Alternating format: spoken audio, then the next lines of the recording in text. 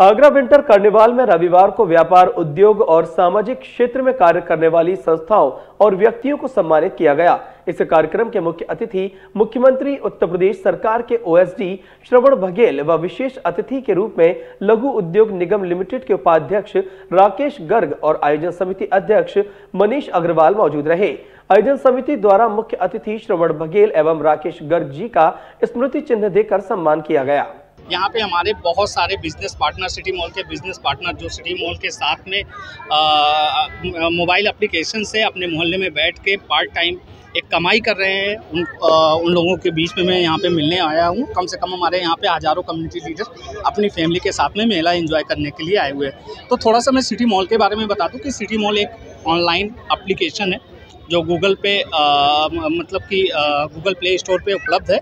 अगर आपको चार पैसे कमाने हैं बिना किसी इन्वेस्टमेंट के एप्लीकेशन डाउनलोड करिए और डाउनलोड करने के बाद में आप अपने मोहल्ले में बिना किसी पूंजी के सारी पूंजी लगाने का हमारा जम्मा है। सारी पूंजी हम लगा लगा रहे हैं। सिर्फ़ आपको मेहनत के बल पे हम आपके मोहल्ले में ये बिज़नेस स्थापित करके देंगे। आगरा विंटर कार्निवल में लीडर्स आगरा को सम्मानित करके मनीष भाई और उनकी टीम ने आगरा में और ज़्यादा कार्य करने की ज़िम्मेदारी सौंपी है। और हम प्राय कोशिश यही करेंगे जैसे हम कार्य करते रहें, आगरा के प्रत्येक उस व्यक्ति को जिसने आगरा के लिए कुछ ना कुछ सहयोग दिया है, हम ऊंचाइयों के संग उनको सम्मानित करेंगे। आज जैसा कि आपने देखा इस आगरा विंटर कार्निवल का सोलवा दिन था और आज लगभग ऑफिशियली यहाँ पर समापन समारोह किया गया है इसमें मिस मेले का। और बहुत लोगों में उत्साह है, चाहे स्टॉल धारक हो, चाहे वो उद्यमी हो, चाहे व्यापारी हो। पूरे शहर में एक उत्साह की लहर है कि इतना अच्छा आयोजन, इतना अच्छे दिनों तक चलता रहा।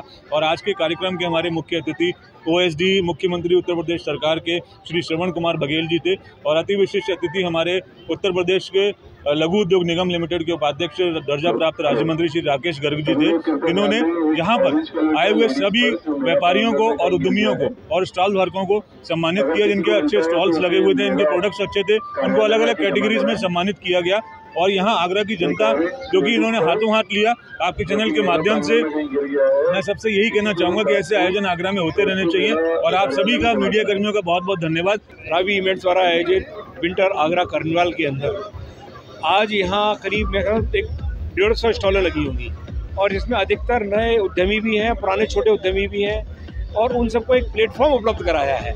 यहाँ पर जो उद्यमी नया काम अपना स्टार्ट करते हैं, या छोटे हैं, जिनके पास ज़्यादा पूंजी नहीं है, जो विज्ञापन नहीं कर सकते, उनके लिए ये सर्वोत्तम प्लेटफॉर्म है। यहाँ ये आए, दस बारह दिन उन्होंने स्टॉल लगाए। और मैं समझता हूँ प्रतिदिन दस हज़ार एक लाख लोगों ने उन्हें विज़िट किया।